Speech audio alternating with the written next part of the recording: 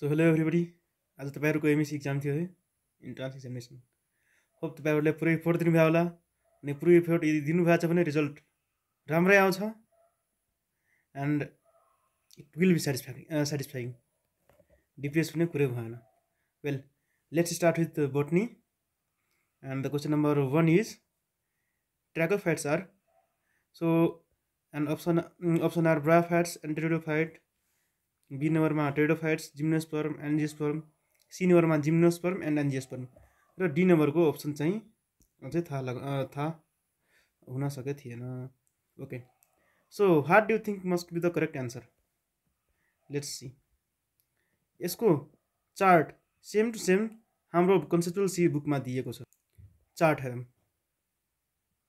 So, plant किङडमको दुइटा classification, थाला phyta इम्ब्रा phyta इम्ब्रा फाइटाको दुइटा ब्रा फाइटा ट्र्याकेफाइटा त्यसको पनि दुइटा टेडोफाइटा र स्पर्माटोफाइटा फेरि स्पर्माटोफाइटाको दुइटा जिम्नोस्पर्म एन्ड एन्जियोस्पर्म अब यही कारणले गर्दा हामीलाई फ्लो चार्ट इम्पोर्टेन्ट हुन्छ।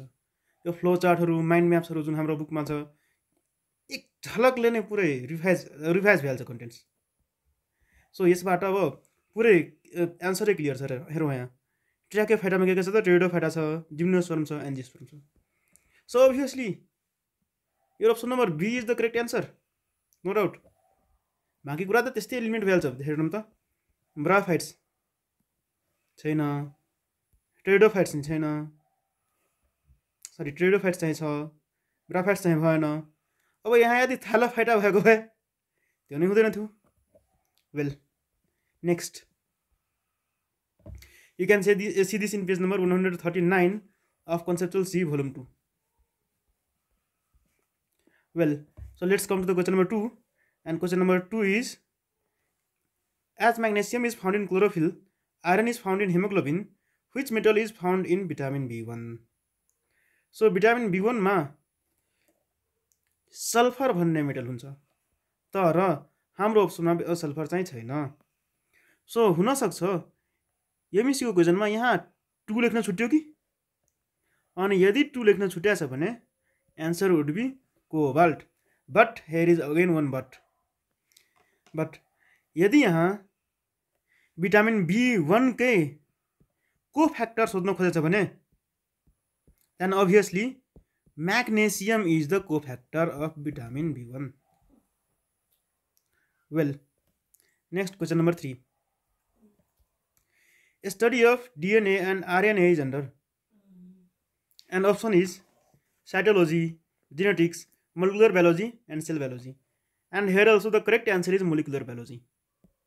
अब हेरौँ त सबमा के के के के हुँदो रहेछ यो साइटोलोजीले के गर्छ भने cell and its organelle it studies about cell and organelle यसै गरी जेनेटिक्स हेर्ने हो भने जेनेटिक्सले के गर्छ त genetics studies about inheritance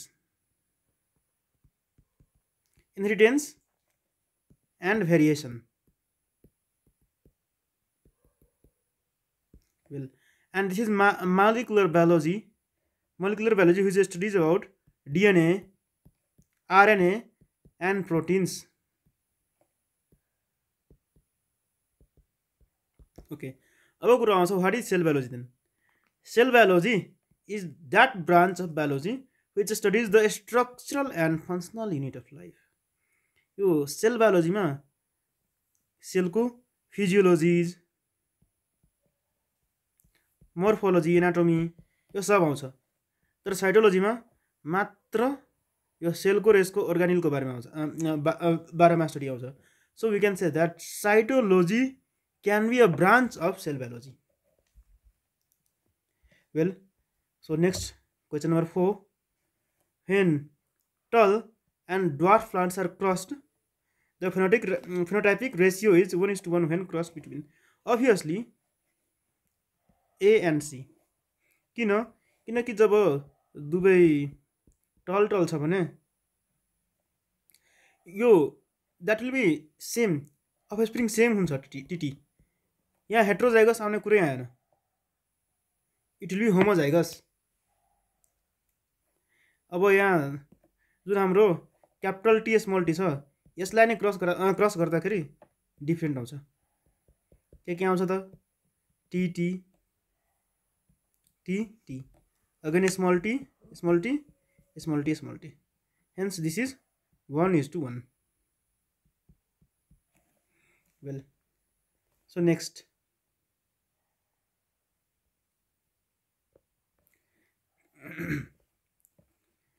bolting bolting is end induced by यो हमारे बुक बाट क्वेश्चन हो from plant hormones and this bolting is actually induced by gibberellins first of all what is this bolting तपाईँहरूले क्याबेज हेर्नु भएको छ कलिफ्लावर यो कसरी पुरै लिफहरू लिफहरू एकै ठाउँमा एकै ठाउँमा बल जस्तो बनेर बसेको हुन्छ? अब लेट्स इमेजिन त्यसको प्रत्येक नोटबाट यदि ठुलो भयो यदि पुरै प्रत्येक नोटलाई ठुलो गरियो भने जुन लिफ यसरी मानिहालो हुन्छ त्यो सब कस्तो भइहाल्छ त? अब नेक्स्ट नेक्स्ट नेक्स्ट नेक्स्ट। यो सानो बल जुन थियो क्याबेजको त्यो भइहाल्छ like bamboo more longer than bamboo. Okay? So so this.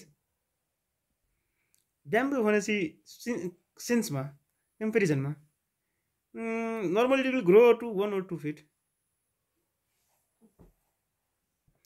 अब कुरा आउँछ अक्जिनको काम के त? अक्जिनको काम हो apical dominance that is apical एपेक्सको size मात्र बढाउने द्याट इज जुन हाम्रो लास्ट नोड हो यो नोडभन्दा माथि मानिहाल्यो एपेक्स छ भने यो नोडभन्दा माथिको साइज मात्र बढाउने and what is this cytokinin so coming to cytokinin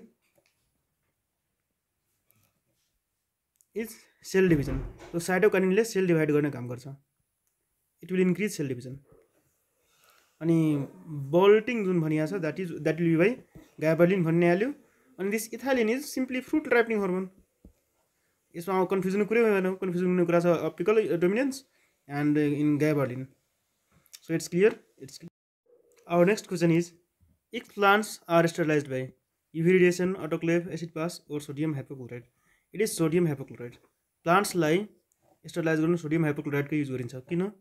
किनकि UV radiation autoclave and acid pass these are very harmful and hence these are use only in sterilization of instruments मेडिसिनमा यसलाई instrument use गर्न जस्तै हस्पिटलहरूमा value इन्स्ट्रुमेन्टलाई sterilise गर्न यिनीहरूको use गरिन्छ। अब what is this explant explant is that sample plant use in tissue culture okay well now our question number 9 is we store pollen uh, of extinct plants at very low temperature. It is it is obviously it is cry, uh, cryopreservation. How is ex then ex situ conservation is outside natural habitat and in situ inside that natural habitat. Examples like in national parks wildlife reserves. Okay. Whereas gene banks are example of ex situ conservations okay and then and then the last question for today that is question number 10 is exesis that is establishment of species it is successful adaptation climax community भनेपछि कुनै पनि एडेप्टेसनको जुन लास्टमा community आउँछ that is climax community and pioneer by the name it is first pioneer plus टूमा biology प्र्याक्टिकलको लागि तपाईँहरूले एउटा बक्स किन्नु भएको छ होला। है डेसेक्सन बक्स भन्नुहुन्छ। त्यसमा के लेखा हुन्छ? पाउनिर बक्स मतलब it is the first first kind of dissection tools in your career well so so अहिले बाह्र बाजिरहेको छ stay tuned we are still here we are with you we are only and only for you